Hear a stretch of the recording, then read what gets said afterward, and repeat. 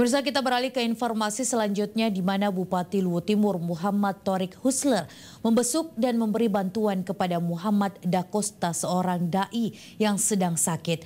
Husler datang langsung ke kediamannya di lorong 9 Desa Puncak Indah untuk memberikan semangat agar Dakosta cepat sembuh dan kembali mengisi ceramah di masjid-masjid di Kota Malili.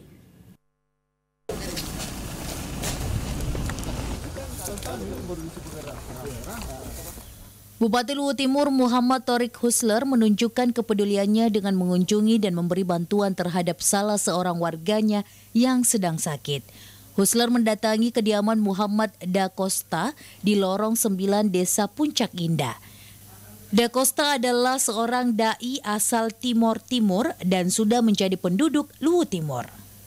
Sejak sakit, Muhammad Da Costa tidak lagi mengisi khutbah ceramah Jumat di masjid-masjid di Kabupaten Luwu Timur.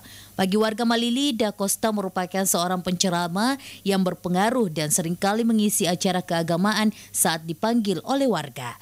Menurut Husler, selain sebagai dai, Da Costa bekerja sebagai pengumpul batu di sungai dan berkebun.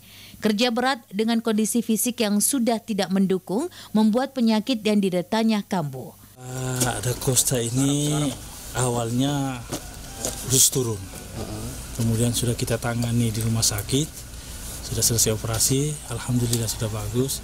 Uh, mungkin dia merasa bahwa sudah agak bagus, dia bekerja lagi kan ini kan kerja keras ya. Dari kambuh lagi. Jadi sepertinya terasa kan dia sekarang dia tidak bisa beraktivitas sementara. Mengunjungi kediaman Muhammad Da Costa, Husler didampingi Kepala Dinas Pemberdayaan Perempuan dan Perlindungan Anak. Dalam kesempatan ini, Husler menyerahkan bantuan paket sembako dan berharap Da Costa cepat sembuh agar kembali mengisi ceramah di masjid-masjid. Dari Kabupaten Luwu Timur, Son Abdurrahim, Selebes TV.